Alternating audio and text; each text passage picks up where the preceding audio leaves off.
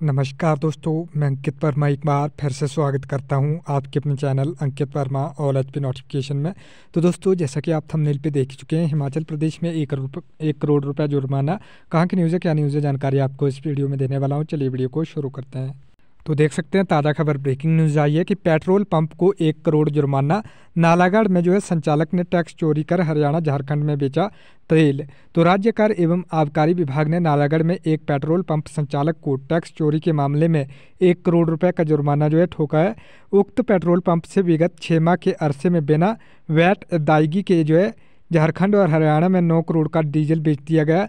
राज्य कर एवं आबकारी विभाग बद्दी के अधिकारियों ने औचक निरीक्षण के दौरान टैक्स चोरी का यह मामला पकड़ा। जानकारी के मुताबिक राज्य कर एवं आबकारी विभाग बद्दी की टीम ने विगत 16 दिसंबर को नालागढ़ बद्दी रोड पर स्थित पेट्रोल पंप का औचक निरीक्षण जो है किया था। तो दोस्तों, ये थी ताज़ा खबर ब्रेकिंग न्यूज़। पेट्रोल पंप को जो है एक करोड़ का जुर्माना लगाया नालागढ़ के संचालक को टैक्स चोरी के लिए। तो दोस्तों, ये थी ताज़ा खबर ब्रेकिंग न्यूज़। अगर आपने अभी तक वीडियो को शेयर नहीं किया, वीडियो को शेयर करते हैं और चैनल को सब्सक्राइब करना बिल्कुल भी ना भूलें ताकि आप तक हिमाचल प्रदेश की हर नोटिफिकेशन सबसे पहले पहुँच सके। धन्यवाद। जय हिंद। जय भारत।